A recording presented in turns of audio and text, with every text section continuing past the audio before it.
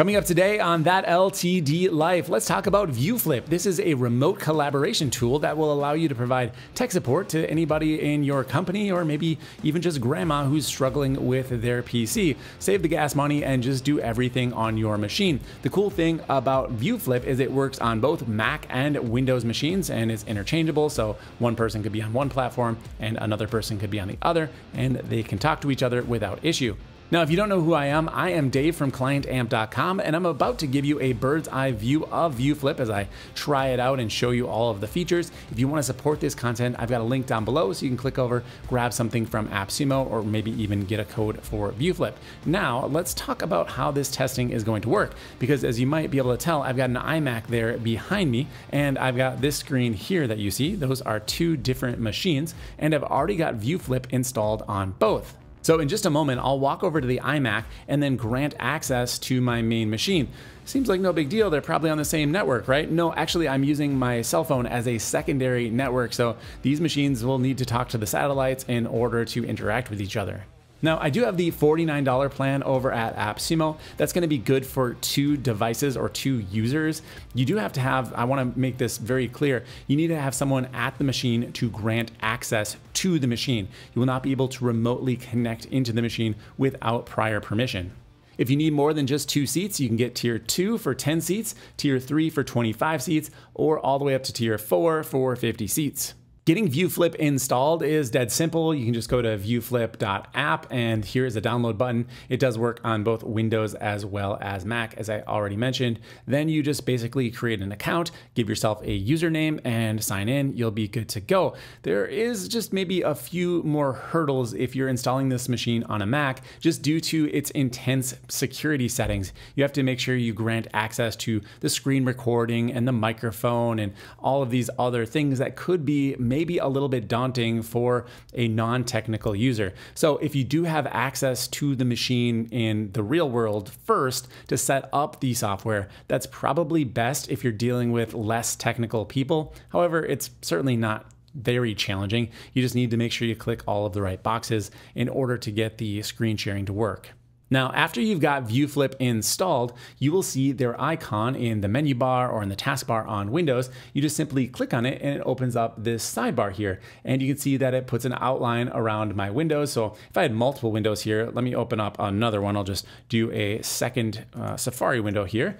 And now if I open up ViewFlip, I'll choose this window, hit the ViewFlip button, it's going to grab that window. So whatever window is in the foreground is what's going to be selected for sharing. It's not going to be your entire screen unless you specify that you want it to be your entire screen. So I'm gonna go back to the AppSumo window here. And what I can do is connect to my other user. So I've got Dave Swift 2 over here. That's my secondary account. My primary one is Dave Swift. So I can just click right here and then it's gonna send, you probably heard a little whistle, the microphone picked it up, uh, notifying me that I have an invitation to view a screen.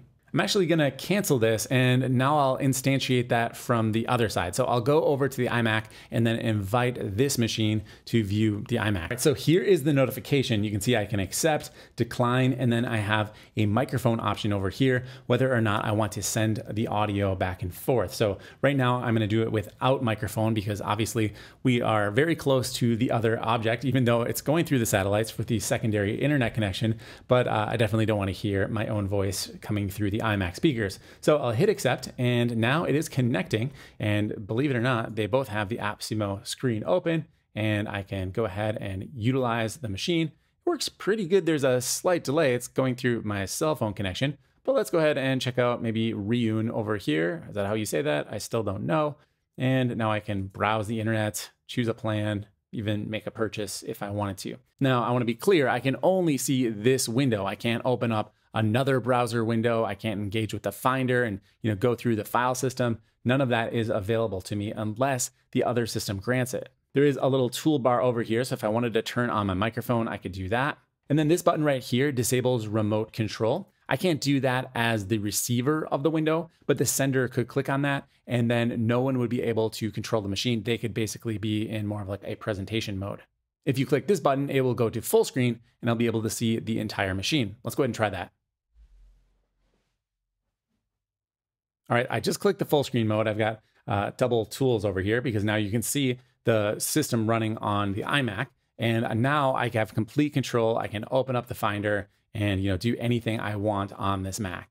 There is a little bit of lag. You can see as I move my mouse around, the real mouse kind of drags behind it, but it's still totally usable for, you know, more manual type of tasks. I probably wouldn't do anything creative here like edit video or do music production through a screen sharing, but if you wanted to show someone what you're working on in one of those applications, I think it would work just fine.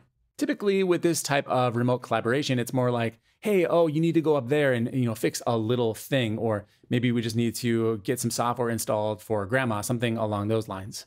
By the way, this last icon over here in the toolbar, that just pauses the screen share. So if you need to do something where you don't want anyone else to see it, like enter a password and you're worried it's gonna show on screen, you just pause the screen share and then you can press it again to unpause it. When you're all done with the screen share, of course, just hit the X and now we are disconnected. I want to show you a few of the settings here, but that is the essence of it. You basically just need to have everyone sign up for their own account. Then you just find out their screen names and they'll all show up on your sidebar. It's super easy to connect. I've just opened up a text window here, a sticky, so that I can show you the ViewFlip interface because you do have to have at least one window open to even see this sidebar. Now, once you've opened the sidebar, you can see your personal connections over here, and you can invite new users to your team by clicking on the invite button. You just enter their email address, they will get a notification, sign up for a user account, and you'll be able to communicate with them. Of course, you need to have an available team member based on the plan you bought over at AppSumo. If you do have a team of, say, 50 or so, and you've got a few people that are maybe more important or you connect with more frequently, you can pin them so they stay at the top of the list right here. They still show up below, so you can see now I've only got the one user and it's kind of duplicated. looks a little silly in this instance, so I'll unpin it. But that's essentially it for the sidebar. There's some settings over here so we can get more granular, but you probably don't even need to touch those if you're just doing kind of the basic, you know, remote collaboration slash tech support. Our settings are very simple. We've got account settings, which are going to be, you know, your username. You've got some activity information over here that shows how much you're using the application and who you've invited. There's even a profile section over here where you can make your profile public if you want to connect to users outside of your own work group. The way you set that to be internal or external is under workspace here, under user search, you can choose global, workspace internal, only for specific domains, or disabled for all. If you disable this, it means no one will be able to find you. You'll have to know your uh, username exactly. I think probably for most companies, the safe route will just be workspace internal you know, there's always going to be some security risk when we're doing things like remote sharing or screen access through the internet. So that's definitely something you want to be uh, more on the conservative side of things than more aggressive.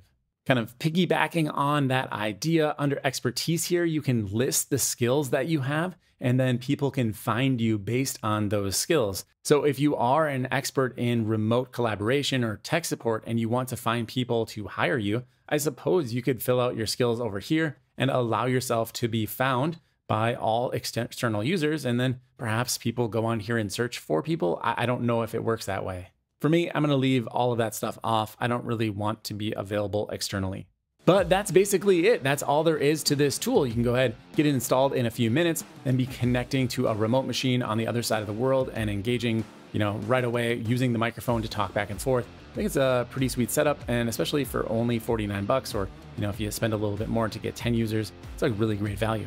The only thing I would like to see personally, and it might be controversial and security people might correct me on why this is a bad idea, but let's say I have a machine with an application installed on it and I want to have a user remote access into it to use that application. I think that would be really cool, especially if I could kind of, you know, coordinate off so they only have access to that one application.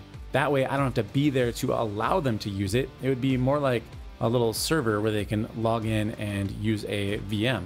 The way the software is set up right now, you need to have a user at the machine to grant access every time someone takes control. So that is probably better for security, but not as convenient, especially in the scenario where you could have a machine really not allowed to do anything else, but just run one particular application. I do want to add that I have been a user of TeamViewer in the past, and I found the software to be pretty good, but I think ViewFlip is very comparable from my experience. Now, granted, I have not spent many, many hundreds of hours using TeamViewer, but overall, if you just need to make a few quick changes, well, I think this is a viable option. So when it's all said and done, I'm going to give ViewFlip a 7.9 out of 10. If you want to grab a copy, I've got a link down below in the description. If you like this video, make sure you hit like Hit subscribe if you're new around here. Drop me a comment if you have any questions or maybe a correction. Could have gotten something wrong in this video. Otherwise, find me over on clientamp.com, get signed up for the free email newsletter, try one of our premium courses, and I'll see you in the next review.